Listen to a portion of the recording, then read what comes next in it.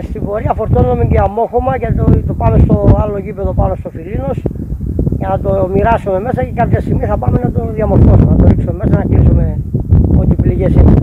Πρέπει να γίνεται για να συντηρείται και το, το γήπεδο όπως πρέπει να είναι.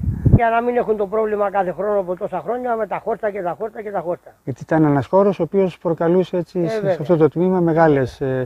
Χώρος που μπορεί να εξυπηρετεί τώρα να, να είναι οι αθλητές εδώ. Μετά τις προπονούν. σημερινές εργασίες, τι εργασία εκκρεμεί, θα πρέπει να πατηθεί αυτός ο χώρος ώστε να. Ναι, μετά από αυτήν την εργασία θα το πατήσουμε τον κύλινδρο για να το φυτέψουμε.